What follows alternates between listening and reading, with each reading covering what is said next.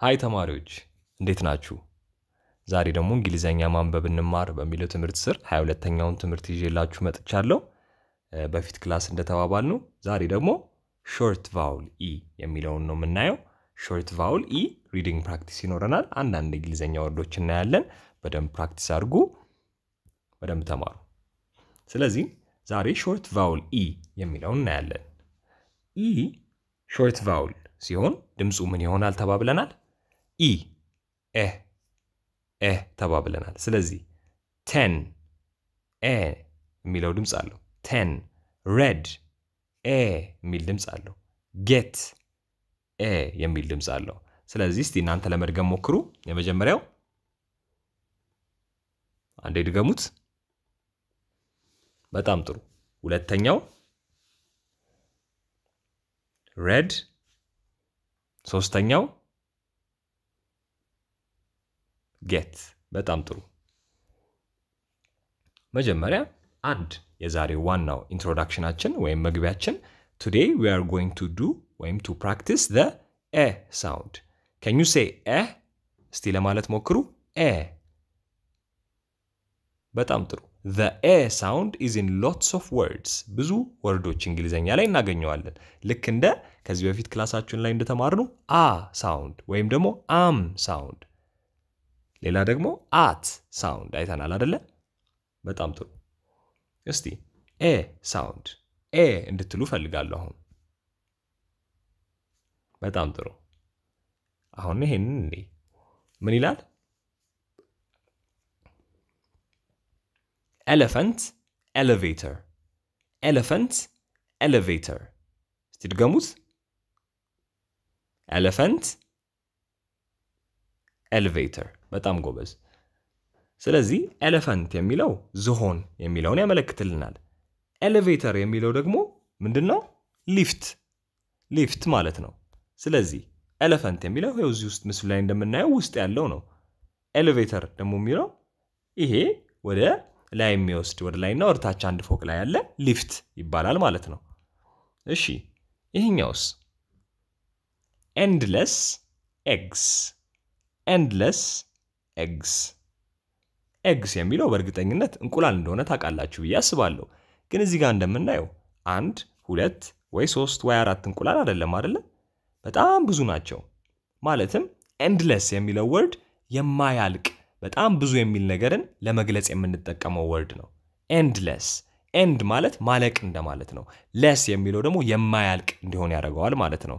አሁን ለምሳሌ ሌላ አንድ ቃል አምጥተን less ብንጨምርበት የእሱን ቃል opposite ያደርግልናል ወይም ደግሞ negative ያደርግልናል ማለት ነው። end ማለት ማለቅ ከሆነ endless ከሆነ የማያልቅ ይሆናል። አንድ ምሳሌ ልስጣችሁ። ሆም ኤች ኦ ኤም ኢ ሆም ሆም ማለት ቤት ማለት ነው። homeless ማለት ግን ቤት የሌለው እንደማለት ነው። በጣም ጥሩ። ስለዚህ eggs የሚለው እንቁላሎቹን እናያለን።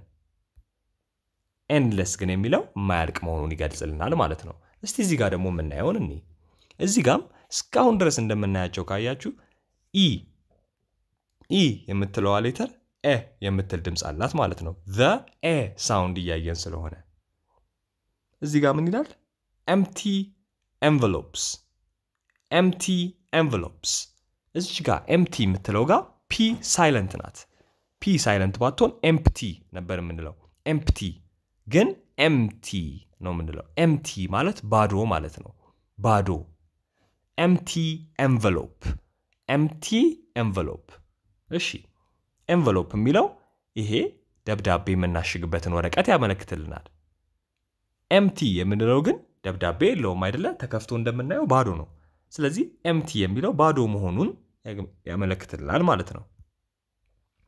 እስቲ ዛሬ ደግሞ en family ን en family ን እንጀምር። ሶስት ቃላቶች አሉ እዚህ ጋር ወይም ሶስት word ኦች። ሶስቱም word ኦች በሶስት ሶስት letter ኦች ተመስርተዋል። እስቲ ለማንበብ ሞክሩ። የመጀመሪያው ten ten በጣም ጥሩ። የሁለተኛው men men ጎበዞች።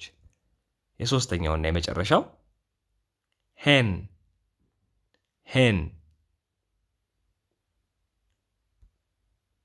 እሺ ስለዚህ አሁን ደግሞ ትርጉማቸውን ወይም ደግሞ ምን ማለት እንደሆኑ ለማየት እንሞክር። ten የሚለው አስር ቁጥርን ያመለክትልናል። ቁጥር ውስጥ አስረኛው ቁጥር በእንግሊዝኛ ten ይባላል።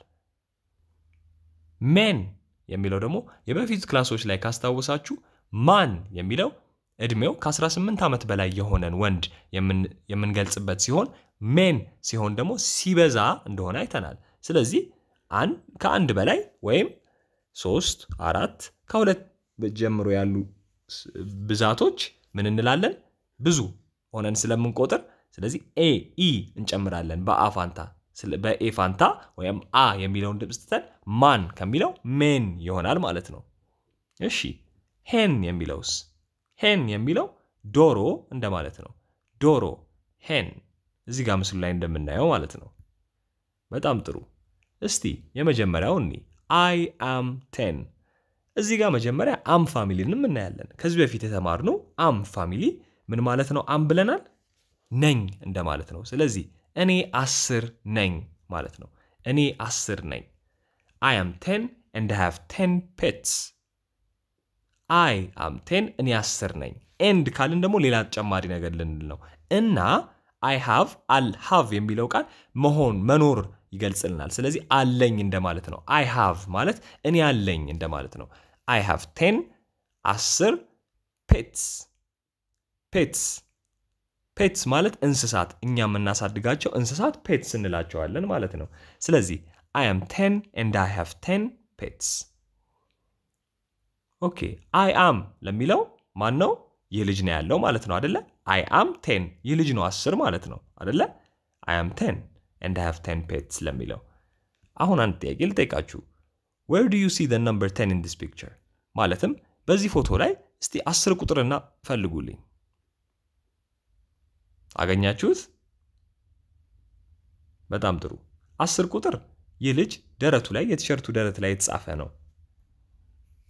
እሺ እስካሁን I have ten pets ሲል ነበር አደለ? እዚህ ጋር ያሉትን እንቁጠራቸው። ሁለት እጆቹ ላይ ሶስት ሶስት ነገሮች ይዟል። ከታች ደግሞ አራት አለ ጠረጴዛው ላይ። በአጠቃላይ አስር ነገሮች ይዛል። እነዚህ ናቸው pet ኦቹ ማለት ነው። So እነዚህ pet ኦች ወይም እንስሳዎች ምንድን ናቸው የሚለውን እኔ Ten lovely worms all slimy and wet። worms ማለት ትሎች እንደማለት ነው። ትሎች። ስለዚህ የዚህ ልጅ pet ወይም የሚያሳድጋቸው እንስሳዎች ምንድን ናቸው? ትሎች ናቸው ማለት ነው። Ten lovely ደስ የሚሉ worms፣ አስር ደስ የሚሉ worms። All slimy and wet፣ እርጥብና የሆነ እጅ ላይ የሚለገለጉ እንደማለት ነው። Okay እሺ worms የሚለው ማለት ነው እጁ ላይ የያዛቸው ናቸው ማለት ነው። እጁ ላይ የያዛቸው። ስለዚህ my ten little worms eat dinner on my plate። ስለዚህ እነዚህ አስር የሚያሳድጋቸው ትሎች እራት dinner ማለት እራት ነው አደለ? on my plate ማለት ሳህኔ ላይ ሳህኔ ላይ እራት ይበላሉ። eat dinner on my plate። My ten little worms ማለት አስሩ ትንንሽ ትሎቼ little የምትለው ትናንሽ የምለውን ትገልጽልናል። ወይም ትንሽ eat ማለት መብላት ነው። ስለዚህ እራት ይበላሉ on my plate ማለት ሳህኔ ላይ። እሺ then one day ከዛም አንድ ቀን I had spaghetti I had spaghetti I had ማለት have የሚለው past tense ሲሆን have ማለት አለኝ እንደማለት ሲሆን ወይም ደግሞ አለኝ ወይም የሆነ ነበረኝ ይሆናል። had ማለት past tense ኡ ስለሆነ I had spaghetti ማለት spaghetti ነበረ የበላሁት እንደማለት ነው። ስለዚህ I had spaghetti። spaghetti ማለት ምን ማለት ነው? Okay spaghetti ማለት ፓስታ ማለት ነው እዚህ ምስሉ ላይ እንደምታዩት። ስለዚህ then one day I had spaghetti፣ አንድ ቀንም spaghetti በላው። And worm said hey። እዚህ ጋር እንደምናየው አንድ worm hey እንዳለ እናያለን። ስለዚህ ከፓስታው ጋር ተቀላቅሎ ነው ማለት ነው አደለ? እሺ ተማሪዎች በጣም ጥሩ። ስለዚህ አንዳንድ ጥያቄዎች ልጠይቃችሁ። የ en family en family ከመግባታችን በፊት የሚቀጥለው class ላይ ዛሬ ያየነው ይህ የ